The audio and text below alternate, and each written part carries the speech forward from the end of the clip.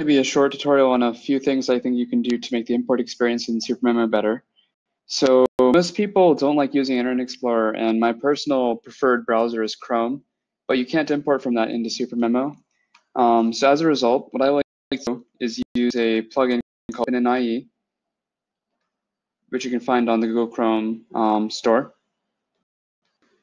So you get reviews. It's mainly uh, low because of Chromebook users thinking we'll let them use Internet Explorer. So now that I've added Open in IE, I just have to install a small zip to let it connect to Internet Explorer. So after downloading um, the package they give, I can just install it. And I can do check connection and it's working.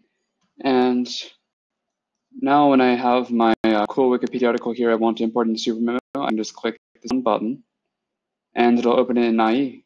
And then the second recommendation I have for making imports easier is you can see this parse article button. So basically what this does is there's a site created by a uh, fellow SuperMemo user, Strategy Pattern, which basically, if I put in some link and I do get filtered article, it'll basically give me a version of this article I've put in, which is much, much easier to import and far less messy. Um, so the thing is that it, it changes the uh, URL though if you do this, which can be a little bit annoying.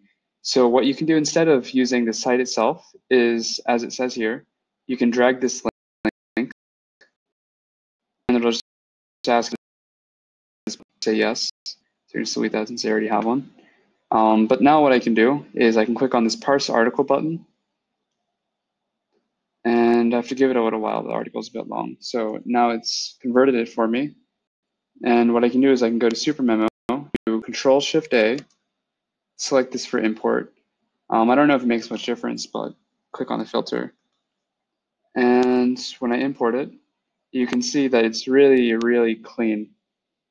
Um, so these are just a few things that I like. So I can't say that it's the most secure of options.